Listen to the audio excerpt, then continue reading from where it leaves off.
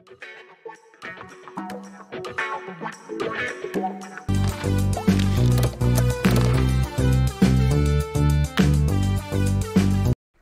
んにちはのり太郎です。今回はプレミアムレアコイン紹介動画ということで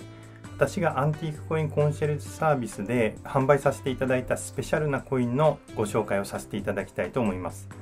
今回ご紹介するコインは1839年グレートブリテンビクトリア1シリング銀貨ウィリアム・ワイオンプレーンエッジプルーフ65カメオです。こちらは1839年の1シリング銀貨自体は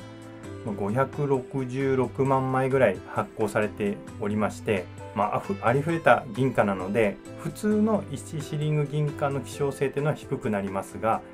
このコインは何がすごいかと言いますと1839年でピンと来られた方多いのではないかと思うんですがあのビクトリア女王の戴冠記念として発行されたウナとライオン金貨の年号になります。そしてこのプルーフのプレーンエッジっていうのがですねそのウナとライオンの15枚のコインセットのうちの1枚ということでこちらは400セットということなので、え、普通のシリング銀貨とはまず希少性が全く違うというところになります。そしてなんとこちらは PF65 カメオということでプルーフでさらにカメオがついたっていうものになりますのでプルーフでカメオがついたものの総鑑定数っていうのはわずか7枚ということで、まあ、これもめちゃくちゃレアということになるんですが今回ご紹介するこの65というグレードはその中でも最高鑑定トップポップでしかも同じグレードが1枚しかないということで唯一最高鑑定の1枚ということになります、まあ、こんなコインが手に入るのは本当に奇跡としか言いようがない1枚でありながら、まあ、正面からではちょっとわからない輝きですね。ブルートーンと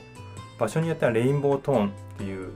あの青く見えたり虹色に見えたりするトーンが入ってるというもうまさにシリングの中の top of top と言えるような1枚になります。でしかもさらに世界的に人気の高い young エリザベスの肖像でありデザインはもちろんこちらもコイン業界で知らない人がいないあのウナとライオンをデザインした天才彫刻家のウィリアム・ワイオンデザインの肖像ということでまさにプレミアムレアコインと呼ぶのにふさわしい1枚となっております。ということでこのようなスペシャルなコインは私のショップでも最近プレミアムレアコインという枠を特別に設けておりますのでそちらにもこのようなスペシャルなコインをご紹介しておりますしこのようなスペシャルなコインが欲しいという方はアンティークコインコンシェルジュサービスというものをご利用いただきますとご予算に合わせて、ま今回のようなスペシャルなコインを手数料が定額で取得して取得価格でお届けしますのでご利用ご検討くださいということで今回はプレミアムレアコイン紹介でした。それでは皆様最後ご一緒にレッツコインご視聴ありがとうございました。